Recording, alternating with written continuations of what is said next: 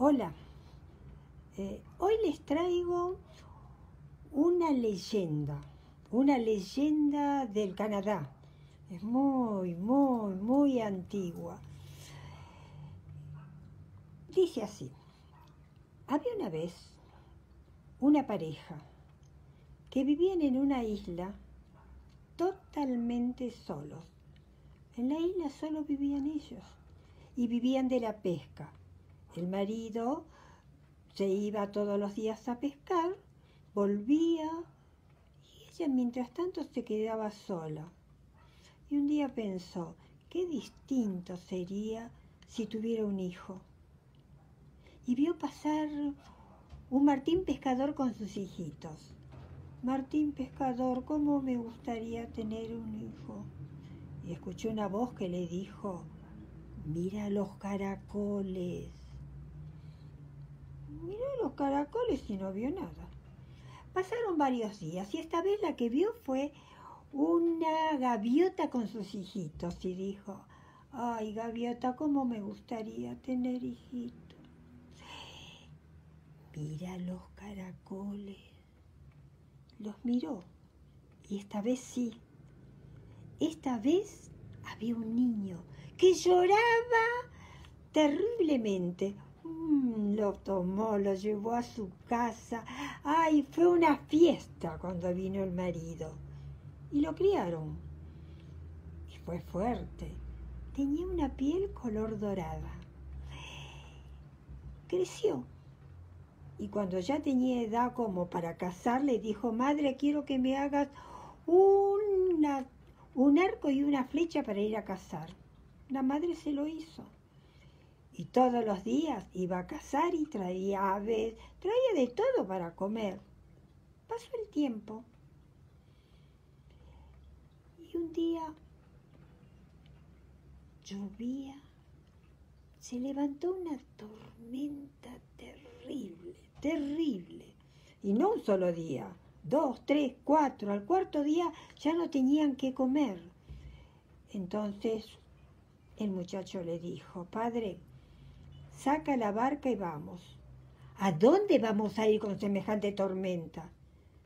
Yo voy a ir a donde está el espíritu de esa tormenta para vencerlo.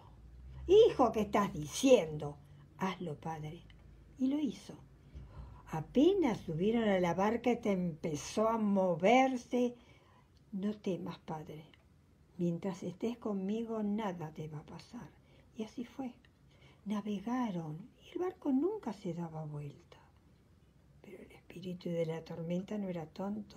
Sabía que ese muchacho tenía poder y le mandó la niebla. Cuando el padre vio la niebla, pensó que sí estaban perdidos, porque una vez que entra la niebla ya no ves dónde viajar y te estrellas seguro. Y el hijo le dijo, no temas, padre, mientras estés conmigo nada te va a pasar y así fue. La niebla llegó a tocar la barca y se disipó. Entonces el espíritu de la niebla, como se dio cuenta el poder que tenía ese muchacho, se fue. Poco a poco la tormenta disminuyó y desapareció. ¿Quién eres, muchacho? le preguntó a su hijo. Padre, aún no te lo puedo decir, volvamos a casa. Y cuando volvieron a casa le enseñó una canción. Una canción que cuando la cantaba los peces, ¡zum!, caían dentro de la red. Y así siguieron viviendo.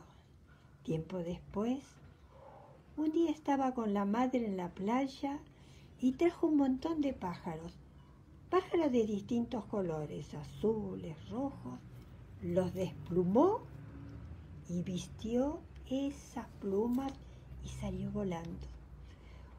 Cuando él volaba con plumas rojas, el mar era rojo y el cielo era rojo.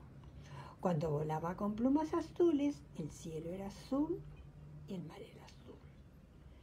Hijo, ¿quién eres? Soy el hijo del sol que vine a la tierra para aprender. pero ya me tengo que ir. No, hijo, no, por favor, no te vayas. Sí, madre, es tiempo de volver, pero no temas. Nunca, nunca dejaré de ayudarte. Te regalaré un vestido blanco, es mágico. Cuando lo abres llueve, cuando lo cierras, para la lluvia. Y además para que estés más segura, cuando tengas algún problema grave, tira plumas blancas hacia el oeste y yo te ayudaré. Bueno, el muchacho se fue. Los padres sufrieron mucho, pero comprendieron.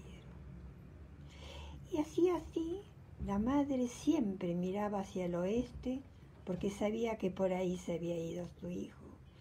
Cuando, yo, cuando necesitaban agua abría su vestido, cuando llovía mucho la cerraba.